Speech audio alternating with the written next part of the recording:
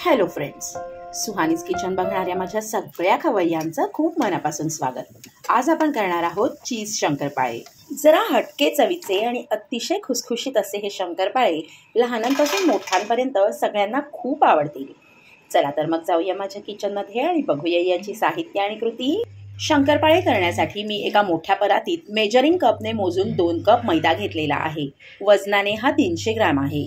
मैद्याच्या मध्यभागी एक लहानसं खळं करून त्यात घालायचं आहे पाव कप तूप. वजनाने हे पन्नास ग्रॅम आहे. तूप गॅसवर वितळवून किंवा कडकडीत गरम करून न घेता रूम टेम्परेचरचं घ्यायचं आहे.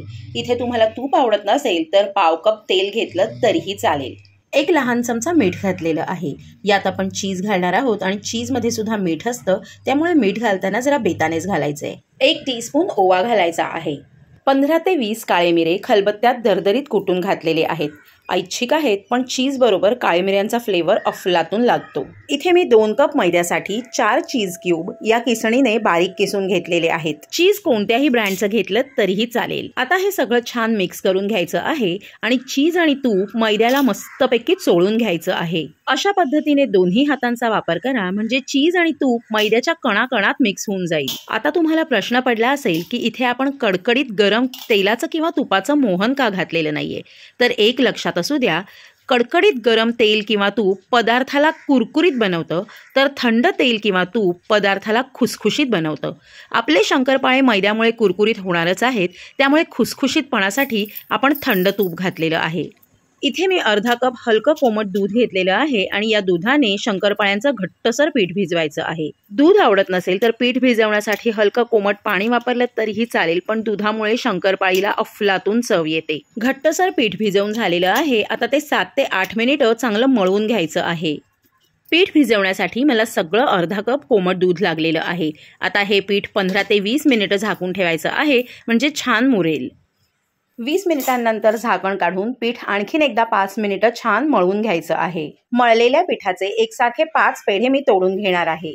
एक एक पेढा घेऊन आपण शंकरपाळे लाटणार आहोत पण तोपर्यंत उरलेले पेढे झाकून ठेवायचे आहेत म्हणजे ते कोरडे पडणार नाहीत. पोळपाटावर पीठ एक सारखं करून त्याचा छान गोल तयार करून घ्यायचा आहे आणि शक्य होईल तितकी पातळ पोळी लाटायची आहे. आपलं पीठ इतकं सुरेख भिजलेलं आहे की पोळी लाटताना त्याला कुठल्याही प्रकारचं कोरडं पीठ किंवा तेल लावावं लागत नाहीये.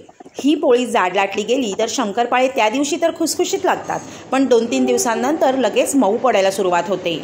अगदी पातळ पोळी लाटून झालेली आहे आता आपण याचे काप करून घ्यायचे आहेत. मी याच्या बोटभर लांबीच्या पट्ट्या कापून घेणार आहे. तुम्ही तुमच्या आवडीप्रमाणे कोणत्याही शेपमध्ये शंकरपाळे कापू शकता.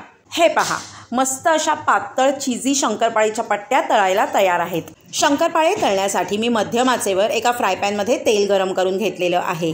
तळणीसाठी शक्यतो अशा प्रकारचा पसरट फ्रायपॅन वापरावा. शंकरपाळीच्या सगळ्या पट्ट्या एका झाऱ्यावर जमा करून त्या मी एकदमच तेलात घातलेल्या आहेत. एक एक पट्टी तेलात सोडायची म्हटलं तर शेवटची पट्टी सोडेपर्यंत पहिली सगळी तळून झालेली असते. शंकरपाळे मंद आचेवर तळायचे आहेत. गॅसची फ्लेम अजिबात वाढवायची नाही आणि शंकरपाळे तळत असताना झाऱ्याने वरच्या बाजूने त्याच्यावर गरम तेल सोडायचं आहे. पट्ट्या छान खरपूस तळून झाल्या की त्याच्यावरचे सगळे बुडबुडे कमी होतात आणि त्या खाली जाऊन बसतात. या स्टेजला आपण या काढून घ्यायच्या आहेत. तुम्ही बघू शकता याचा रंग किती सुरेख हलका बदामीसर आलेला आहे. तळून झालेले शंकरपाळे तेल निथळून मी एका परातीत काढून घेणार आहे.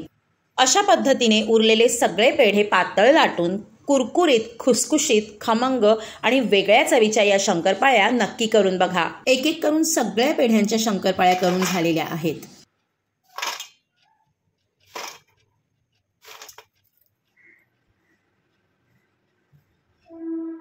ऐकलात ना याचा मस्त असा आवाज आणि आतून टेक्स्चर बघा किती खुसखुशीत दिसतंय.